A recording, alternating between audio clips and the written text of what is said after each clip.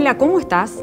Qué gusto encontrarnos una vez más, porque quiero contarte todo el trabajo que venimos realizando desde la OPD estas semanas, con el objetivo de alejar a los niños de los vicios y de mejorar su calidad de vida a través del deporte, creamos el programa Sueño Olímpico en conjunto con el Comité Olímpico Paraguayo. Realizamos la primera jornada deportiva comunitaria dirigida a niños de 7 a 14 años. Además, aprovechamos la jornada para brindar atención médica, realizar actividades recreativas y compartimos una rica merienda con todos los niños. Este proyecto buscará captar talentos que puedan representarnos en el futuro en seis disciplinas deportivas olímpicas, como son el atletismo, tenis, esgrima, alterofilia, lucha y karate. Cada vez más mujeres luchadoras pueden salir adelante y cumplir sus sueños, gracias al programa de crédito Cuñaca Tupirí. Hoy te queremos contar la historia de Aida Benítez, quien gracias al programa pudo mejorar su negocio, acceder a capacitaciones y también a una cuenta en el BNF.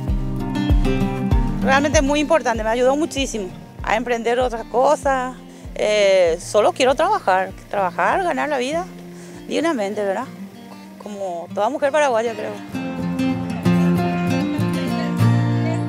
Acceder a cirugías reconstructivas es muy difícil para personas de escasos recursos. Ñematiró Paraguay se llama el programa llevado a cabo por el Ministerio de Salud Pública y el Centro Nacional del Quemado. Por medio de este programa, médicos voluntarios de varios países, especialistas en cirugía plástica y reconstructiva, vinieron a nuestro país no solo para transmitir sus conocimientos a médicos paraguayos, sino también para operar gratuitamente a más de 150 personas en la ciudad de Concepción y Asunción. Es un honor venir aquí eh, en colaboración con el amigo Bruno Balmelli, que es el jefe del Centro de Cremadura de Asunción.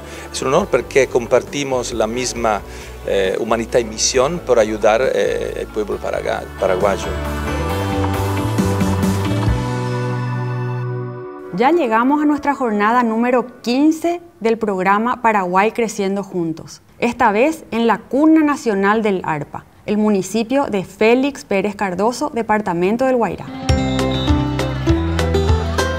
En esta oportunidad, unos 2.416 niños y adultos fueron atendidos de manera integral y todos pudieron disfrutar de las distintas actividades organizadas, como talleres de pintura, dibujo, lecturas de libros de cuentos, canto, baile y deportes coordinados con la Asociación Paraguaya de Fútbol. Tuve la oportunidad de compartir con las madres de pequeños bebés que recibieron cunas de parte del Ministerio de Desarrollo Social. También aprovechamos para realizar una jornada de nuestro programa Paraguay Solidario con los pobladores de las 14 compañías del municipio, donde entregamos víveres y frazadas a unas 7.500 personas. Hija mandé ceja, familia cueva completo. Me hago otro cueva la misma que sea ajá esa de yo ajena. Ahora se te hizo como eh mando ahora Trabajando juntos nos fortalecemos todos. Por eso es muy importante para nosotros que participes. Sumate al voluntariado. Y si querés conocer más de nuestro trabajo, accede a nuestra página web o a nuestras redes sociales.